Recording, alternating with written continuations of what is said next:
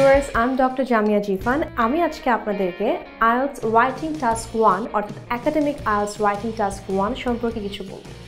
What is writing task one writing task one is report writing এখানে একটা ক্যান্ডিডেটকে paragraph pie chart table diagram map অথবা line graph দেওয়া হবে এবং বলা হবে এটাকে ডেসক্রাইব করতে। এবং এখানে কোয়েশ্চেনটা হবে এমন summarize the information by presenting the main features and making comparison where possible. Academic IELTS রাইটিংয়ে দুটো পোর্শন আছে task one task two task one one third mark carry করে।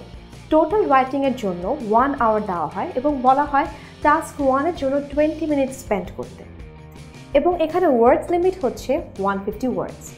So you have to write 150 words or more, but you cannot write less than 150 words because if you do so, তাহলে আপনাকে penalize করা হবে আরও একটা জিনিস যেটার কারণে একজন ক্যান্ডিডেটকে প্যানালাইজ করা হয় সেটা হলো if he or she write something which is off the topic so you have to write everything which is related to the topic and here the candidate is ask to describe the facts এখানে opinion দেওয়ার কোনো সুযোগ নেই